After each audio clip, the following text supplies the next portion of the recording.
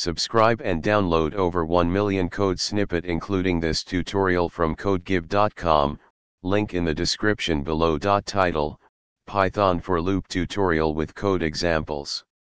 Introduction The for loop is a fundamental control flow structure in Python that allows you to iterate over a sequence of elements. This tutorial will guide you through the basics of using the for loop, providing code examples and explanations to help you understand its syntax and usage. The basic syntax of a for loop in Python is as follows. Let's start with a simple example using a list. Output Explanation The range function is commonly used with for loops to generate a sequence of numbers. Example Output Explanation you can also use a for loop to iterate through characters in a string. Output.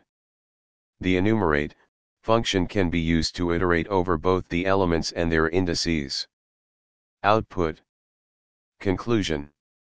The for loop is a powerful tool in Python for iterating over sequences of elements.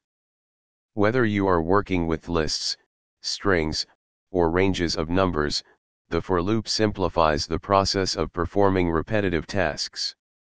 Experiment with different examples to solidify your understanding of this essential programming construct. ChatGPT